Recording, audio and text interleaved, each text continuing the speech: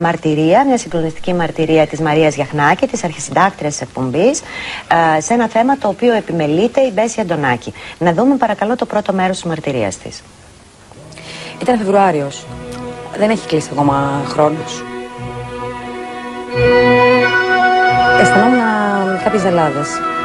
Ε, επειδή λοιπόν δούλευα πάρα πολύ και είχα ένα φίλο μου γιατρό που ήξερε γενικά και τη ζωή μου, μου είχε προτείνει να πάω να κάνω κάποιες εξετάσεις. Πήγα λοιπόν, έκανα γενικές εξετάσεις, αιματολογικές, όλες αυτές τις γενικές, τεστ Παπα-Νικολάου και περίμενα τα αποτελέσματα. Κάποια στιγμή, μετά από ένα χρονικό διάστημα, με πήρε τηλέφωνο ο γιατρός και μου είπε ότι δεν ξέρω τι έχει γίνει, αλλά ίσως χρειαστεί να ξανακάνεις κάποιες από αυτές τις εξετάσεις. Του είπα τι παρουσιάζουν αυτές τι εξετάσεις που δεν μας αρέσουν τόσο πολύ και πρέπει να τις ξανακάνω.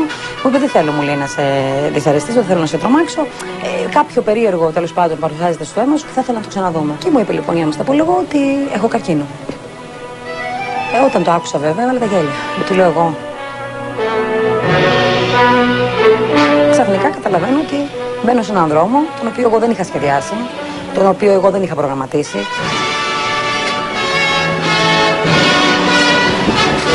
τον οποίο εγώ δεν είχα σκεφτεί. Και ξαφνικά μπαίνω σε ένα πρόβλημα που δεν, δεν νόμιζα ότι θα το, θα το ζούσα ποτέ στη ζωή. Η, η διαδικασία ήταν πάρα πολύ σκληρή. Με την έννοια ότι δεν μπορείς να είσαι 30 χρονών, να έχεις δύο παιδιά και ξαφνικά μια ωραία πρωί να σου λένε ότι ξέρεις κάτι, έχεις αυτό το πρόβλημα το οποίο το άκουγα και έτρεμα που το είχαν άλλοι άνθρωποι, να το έχω εγώ και να μην ξέρω τι να κάνω. και εν πάση περιπτώσει να αφήνουμε στα χέρια των γιατρών για το τι θα γίνει εσύ, στην πορεία. Δεν έχει αξία να σου πω την πορεία, γιατί από εκεί πέρα ήρθαν εξετάσεις, ήρθαν γιατροί, ήρθαν νοσοκομεία. Δεν ήξερε κανείς στην αρχή τίποτα από την οικογένειά μου. Άλλαξε τη συμπεριφορά μου πάρα πολύ. Έγινα φοβερά οξύθυμη, είμαι και τώρα οξύθυμη, αλλά έγινα πιο πολύ οξύθυμη, νευρική, δεν ήθελα να ακούω κανέναν, δεν δεχόμουν ε, κανενός τη γνώμη, δεν με ενδιέφερε κανείς. Ε, έβλεπα τα πάντα γύρω μου έτσι σαν να είναι τα πάντα εχθρικά. Ε, δεν μου άρεσε το πρωί όταν ξημέρνω, δεν μου άρεσε να βλέπω τον ήλιο που τον έβλεπα και τον χαιρόμουν, δεν μου άρεσε να βλέπω το φεγγάρι το βράδυ, δεν ήθελα να ακούω μουσική. Σταμάτησα να διαβάζω, σταμάτησα να γράφω. Το μόνο πράγμα που με χαροποιούσε ακόμα και αισθανόμουν έτσι πιο ελεύθερη και πιο ήρεμη ήταν το χαμόγελο των δύο μου παιδιών, βέβαια. Και το μόνο πράγμα που με έκανε να αισθάνομαι, να βρίσκω μάλλον γιατρία μέσα από αυτό και να ξεχνάω κάποια πράγματα ήταν η δουλειά. Δεν, δεν είμαι θρησκόληπτη. Δεν είναι ότι δεν πιστεύω στο Θεό. Στο Θεό πιστεύω. Από μικρό παιδί, εκείνο το διάστημα, καμία φορά απολύτως καμία φορά, δεν αισθάνθηκα την ανάγκη να κάνω το σταυρό μου. Δεν ξέρω γιατί. Δηλαδή, παράλληλα άρχισα να αισθάνομαι ότι είχα μια εχθρική στάση και τάση και απέναντι ακριβώς αυτό που λέμε Θεός. Και δεν ήξερα σε ποιο, να, σε ποιο να ζητήσω τι. Σε ποιο να ζητήσω τι. Έπαιρνα το αυτοκίνητο και οδηγούσα και δεν με ενδιαφέρει κανείς και τίποτα. Έλεγα, ποιος θα μου λύσει αυτό το πρόβλημα; Γιατί σε μένα; Τα καρφιά για μένα ήταν το καμπανάκι ότι ξεκινάει μια άλλη ζωή για μένα, γιατί ξεκίνησε. Καταρχήν γύρισα διαφορετική από ό,τι έφυγα και στην ψυχή μου και στον οργανισμό μου και στην υγεία μου. Και γιατί πρέπει να μιλάω γι' αυτό; Εγώ δεν μιλάγα ποτέ. Αν μου λέει δηλαδή κανείς θέλει να μιλήσουμε για θαύματα, θέλει να μιλήσουμε για τον Χριστό, για την Παναγία, για το αν θα πρέπει να πιστεύουν οι, θεοί, θα, οι, νέοι, θα γέλαγα. Ε, τραβάει, τραβάει. τι ακούς, τι ακούς. Πες τι ακούς. Πες στον κόσμο τι ακούς. Για αλλού ξεκίνησα, αλλού βρέθηκα και αλλού πήγα ότι είδα μία σειρά πραγμάτων, αισθάνθηκα μέχρι να φτάσω εκεί και ότι εγώ μετά από αυτό έχω μια άλλη πορεία στη ζωή μου. Ότι άλλαξε σχεδόν όλη η ζωή μου. Είχε γίνει μια σύσκεψη τέλος πάντων στην πρωινή ζώνη κάτω εδώ στο Σταρ και είχε έρθει ο διευθυντής ειδήσεων και μέσα στη σύσκεψη αυτή μου είχε πει ότι θα ήθελε πάρα πολύ να πάω στο Παγδάτη. Έγινε λοιπόν και δεν πήγα στην Παγδάτη. Κάποια στιγμή ο σταθμός βγάζει τρέιλερ ότι η Μαρία Γιαχνάκη θα είναι στο Κουβέιτ. Ε, όταν ήρθε η ώρα για το Κουβέιτ, και εγώ έπρεπε να φτάσω στο Κάιρο από την Ελλάδα ή ε, οι Άραβες ε, κόβουν τη βίζα από τους Έλληνες δημοσιογράφους. Κάποια δύναμη μου πήρε αυτό το πράγμα από τα χέρια μου μέσα. Μόνο θέμα τύχης δεν ήταν. Μόνο θέμα τύχης. Αν δεις την ιστορία από την αρχή μέχρι το τέλος, το ένα με έστελνε εδώ, το άλλο εκεί για να γυρίσω. Έκανε δηλαδή ένα κύκλο αυτή η ιστορία για να φτάσω σε αυτό ακριβώς το σημείο. Πάμε γρήγορα να σου δείξω και το άλλο, να, να τα δείξεις αυτά. Το πώς καταλήγει η ιστορία της Μαρίας Σιαχνάκη ε, θα το μάθατε σε λίγα λεπτά γιατί υπάρχει το επόμενο μέρος του βίντεο. Ε, σας το δίνω έτσι γιατί ήταν μια ιστορία εξαιρετικά σημαντική για την ίδια. Εγώ όταν μοιράστηκα μαζί της ένα κομμάτι της ιστορίας σκέφτηκα πολύ ε, να το δείξουμε, να μην το δείξουμε. Ήθελα να προφυλάξω μια ιδιωτικότητα και μια ιερότητα ε, που είχε αυτή τη στιγμή που έζησε η Μαρία Γιαχνάκη. Αλλά η Μαρία Γιαχνάκη ταυτόχρονα είναι ένας καθημερινός μου συνεργάτης, ένας άνθρωπος που με τιμά κάθε μέρα να μοιράζεται μαζί μου α, σχεδόν ολόκληρη τη μέρα της και ήθελα να είμαι ιδιαίτερα προσεκτική. Το συζητήσαμε πάρα πολλές φορές και όταν είδαμε το κομμάτι εκείνο της επίσκεψής της στον Πανάγιο Τάφο όπου με ξεναγώ την ειρήνη μια ειρήνη που δεν βρήκε ποτέ μετά από εκείνη τη συνάντηση. Της λέει σκύψε πάνω στο μάρμαρο και άκου ακούς αυτό που ακούς αυτή τη στιγμή όπου βλέπουμε την ειρήνη που πέφτει πάνω στον, ε, στο μάρμαρο του Πανάγιου Τάφου και όταν πέφτει η Μαρία Γιαχνάκη τη βλέπουμε να ξεσπάει σε λιγμούς. Και όταν ξεσπάει σε λιγμούς της λέει η Ειρήνη με μια φωνή που πάλεται να τα δείξεις αυτά Τι ακούς; Πες τι ακούς. Πες στον κόσμο τι ακούς.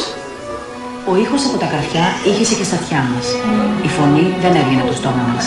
Και τα πόδια μας είχαν παραλύσει. Μόνο δάκρυα και ένα σφίξιμο στο στομάχι.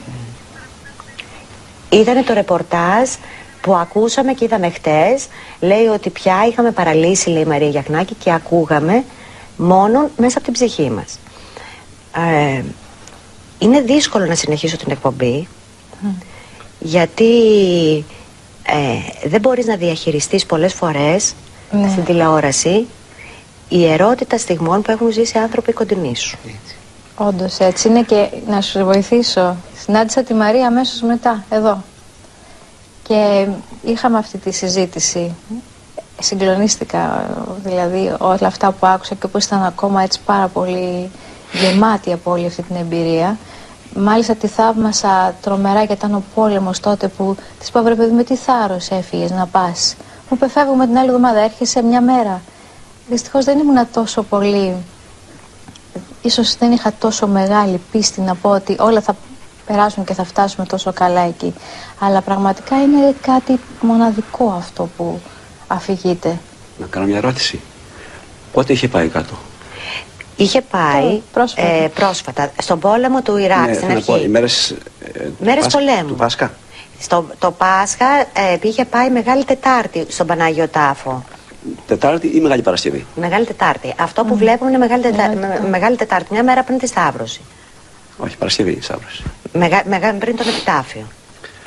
Να πω κάτι ε, πάνω σε αυτό το που άκουσε. Βεβαίως. Δεν έχω προσωπική εμπειρία. Ε, δεν είναι πλάκα αυτό. Είναι ένα κομμάτι κολόνας που έχει μεταφερθεί από το Πρετόριο. Εκεί που βασάνιζαν τον Χριστό μέσα το είχαν δεμένο. Μα γι' αυτό και. α- Ε, ε, είναι ένα κομμάτι κολόνα και ε, το έχω κι εγώ μαγνητοφωνήσει. Τον ήχο αυτό που ακούγεται, όμως Μεγάλη Παρασκευή.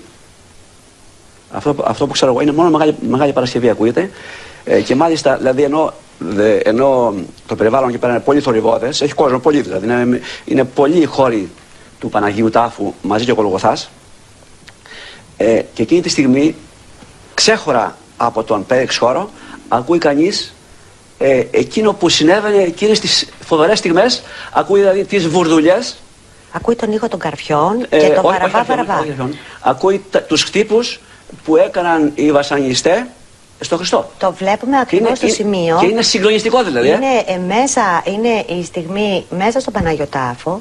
Το βλέπετε στη δοεδέκτηση σε αυτή τη στιγμή. Είναι...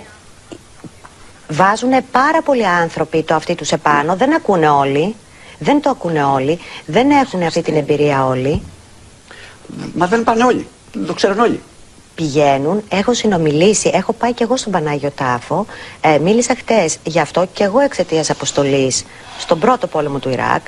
Και αυτό το οποίο ένιωσα εγώ επίσης ήθελα να το πω στους τηλεθεατές. Δεν ήταν όμως της ίδιας δύναμης, ήταν Αύγουστος τότε που πήγα εγώ, α, που ήταν η εμπειρία της Μαρίας Γιαχνάκη. Θέλω επόμενο μέρος της συγκλονιστικής μαρτυρίας η οποία πιστέψτε με ούτε για Μπριάν πήγε ούτε για Γιαχνή στον πόλεμο εκεί που πήγε. Είμαι λοιπόν στο, στο γραφείο του διευθυντή Δήσεων και συζητάμε και του λέω θέλω να πάω στο Ισραήλ.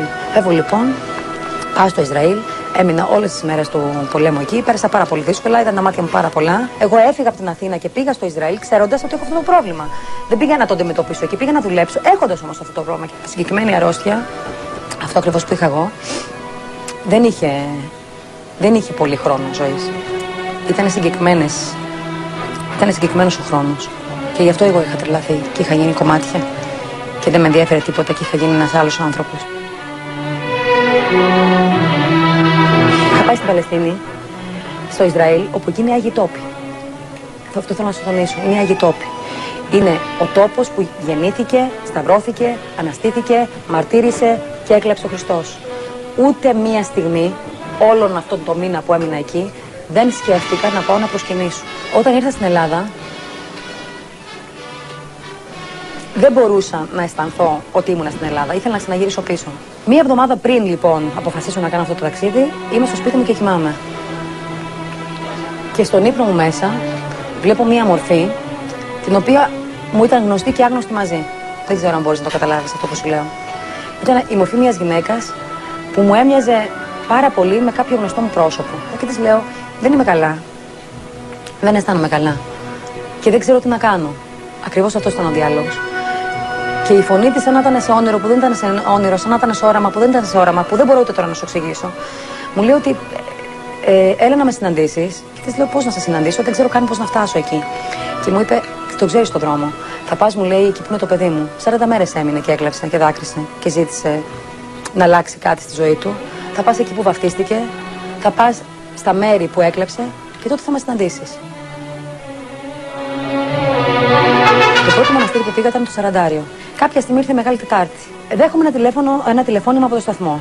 Και μου λένε λοιπόν ο διευθυντής σύνταξης ότι είσαι στα Ιεροσόλυμα και επειδή η συνάδελφος που κάνει το ε, θρησκευτικό ρεπορτάζ, το θρησκευτικό ρεπορτάζ θα έρθει Μεγάλη Πέμπτη, θέλουμε, σε παρακαλούμε πάρα πολύ να προσπαθήσεις να πας στα Ιεροσόλυμα, να μας κάνεις ένα ρεπορτάζ για τον ελληνισμό, αν πάνε οι Έλληνες τη Μεγάλη Εβδομάδα εκεί, αν προσέφουν, αν υπάρχουν Έλληνες ή αν τα Ιεροσόλυμα είναι άδεια λόγω της κατάστασης. Μες στη νύχτα φτάνω στα Ιεροσόλυμα. Μέσα στο άγχος μου όμως ότι έχει τελειώσει, τελειώνει η λειτουργία και ότι εγώ δεν θα βρω ούτε και τους δύο-τρεις Έλληνες που μπορεί να υπάρχουν στον, ε, στα Ιεροσόλυμα, αισθάνομαι ένα χέρι στην πλάτη μου. Γυρνάω πίσω και βλέπω μια γυναίκα με μαύρα ρούχα, νεαρή και μου λέει πάμε, θέλω να σε πάω εγώ στα σημεία του Πανάγιου Τάφου, εκεί που θα πρέπει να πας και να τραβήξεις μερικά πλάνα για να τα δείξεις στον κόσμο στην Ελλάδα. Δεν ρώτησα πού πάμε, πώς θα πάμε, πού, από πού πάει εδώ. Ακολουθούσα χωρίς να μιλάω, ειρήνη, όταν φτάσαμε εκεί, ε, μπαίνει μέσα στον, στην εκκλησία, Πάμε στο μάρμαρο που πάτησε ο Χριστός για να σταυρωθεί και μου λέει εδώ κάποιοι άνθρωποι, όχι όλοι, κάποιες φορές, όχι όλες, όταν ακουμπάνε το κεφάλι τους στο μάρμαρο αυτό και βάζουν τα αυτοί τους, μπορεί και να ακούσουν τα καρφιά που σταυρώθηκε ο Χριστός. Πες τι ακούς. Πες στον κόσμο τι ακούς. Ακούμπησα το κεφάλι μου πάνω στο μάρμαρο.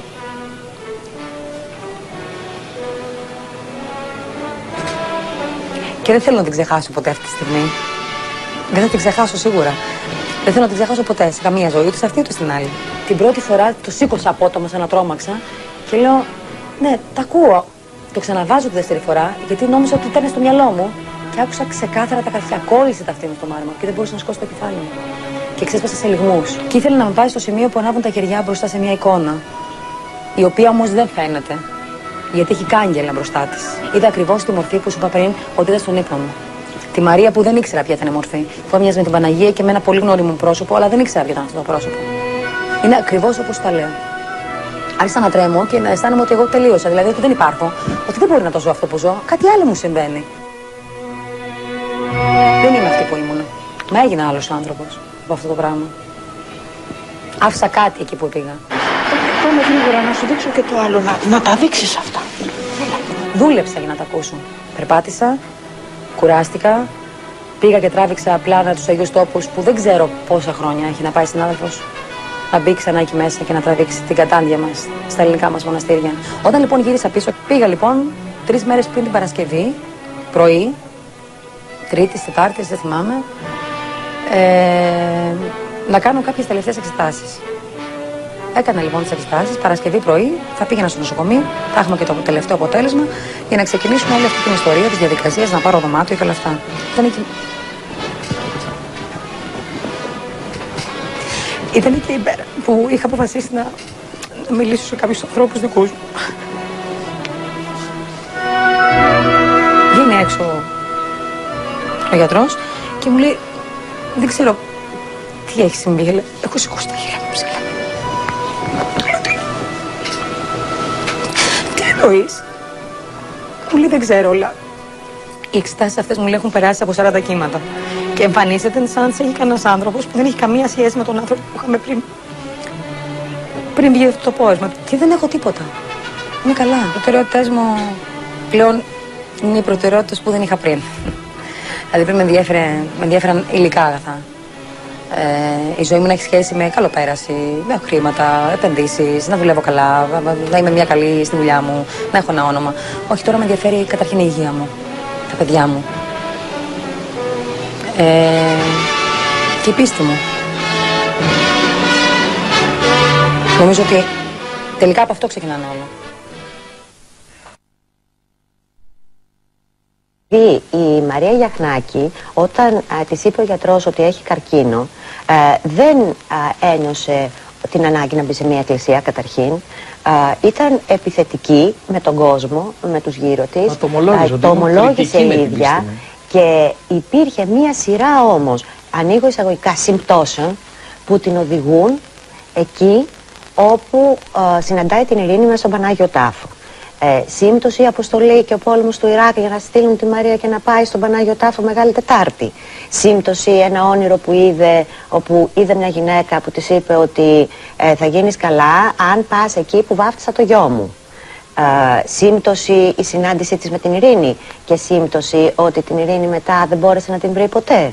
Ποια ήταν η μυστήρια Ειρήνη και πώς συναντάει την Μαρία τη Γιαχνάκη και πού καταλήγει η Μαρία να την ψάχνει και πώς κάποιος της αποκαλύπτει το πρόσωπο της Ειρήνης. Να το δούμε παρακαλώ. Δέχομαι ένα, τηλέφωνο, ένα τηλεφώνημα από το σταθμό. Και μου λένε λοιπόν ο διευθυντής σύνταξης ότι θέλουμε, σε παρακαλούμε πάρα πολύ, να προσπαθήσεις να πας στα Ιεροσόλυμα, να μας κάνεις ένα ρεπορτάζ για τον Ελληνισμό. Φτάνω λοιπόν στα Ιεροσόλυμα και βέβαια δεν υπήρχαν Έλληνες. Αισθάνομαι ένα χέρι στην πλάτη μου. Γυρνάω πίσω και βλέπω μια γυναίκα με μαύρα ρούχα, νεαρή. Ε, θέλω μου λέει να σου μιλήσω. Τη λέγανε Ειρήνη. Σύμφωνα με όσα μου είπε, ήταν χορεύτρια. Είχε πάει για πρώτη φορά πριν από 11 χρόνια στα Ιεροσόλυμα. Μου είπε ότι άλλαξε η ζωή μου. Όλα αυτά τα χρόνια είμαι εδώ. Δεν είμαι αυτή που ήμουνα. Έχει αλλάξει η ζωή μου. Έχει αλλάξει η ψυχή μου. Έχω γίνει ένας άνθρωπος τελείως διαφορετικός. Και μου έδωσε μια καταπληκτική συνέντευξη που εγώ δεν της έκανα καμία απολύτως ερώτηση. Που απλά την κοιτούσα στα μάτια και ξαφνικά τελειώνει μόνη της συνέντευξη και μου λέει: Πάμε, θέλω να σε πάω εγώ στα σημεία του Πανάγιου Τάφου, εκεί που θα πρέπει να πας και να τραβήξεις μερικά πλάνα για να τα δείξεις στον κόσμο στην Ελλάδα. Εντάξει, οκ, έφυγε η Ειρήνη. Το βράδυ την έψαχνα στην ε, Ολονυχτία όταν ήρθε η ώρα, άνοιξαν οι πόρτες, άρχισαν να μπαίνουν οι πιστοί. Έψαχνα να τη βρω. Δηλαδή δεν, δεν, δεν, δεν μπορούσα να φανταστώ ότι ήμουνα στον Πανάγιο Τάφο χωρίς την Ειρήνη. Ίσως την Ειρήνη την έβλεπα, αν θέλεις, και σε έναν άνθρωπο που με βοήθησε να ζήσω κάποια πράγματα. Τη βλέπω κάποια στιγμή και της λέω: Ειρήνη, πάω κοντά. Της λέω: Φτάνει η ώρα, θα φύγω. Ε, θα σε πάρω ένα τηλέφωνο να μιλήσουμε όταν θα φτάσω στην Ελλάδα.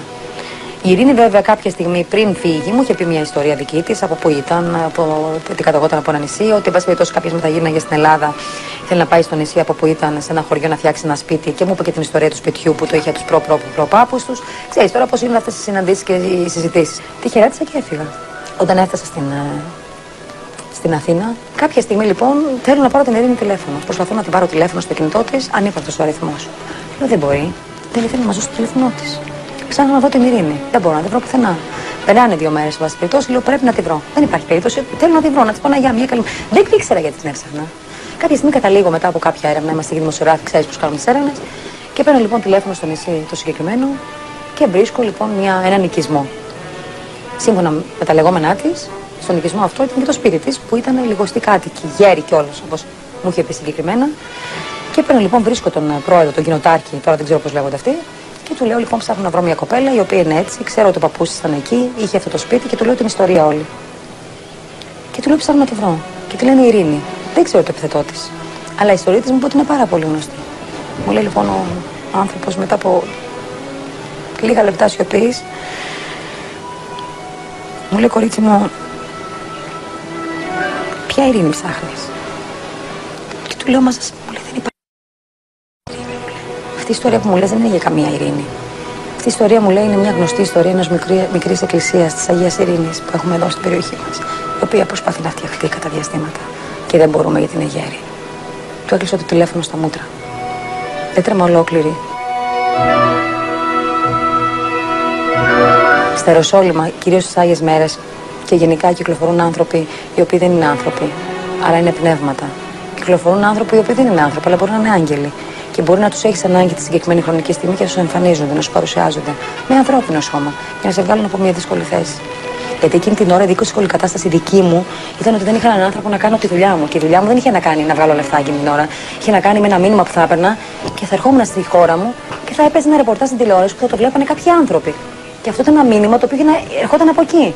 Είχε, είχε δηλαδή σκοπό κάτι καλό, δεν είχε κάτι κακό. Άρα λοιπόν γιατί εγώ να με βοηθηθώ; Για μένα ήταν ένα μήνυμα αυτό το πράγμα. Ήταν ένα δήμα ότι από εδώ ξεκινάει κάτι άλλο.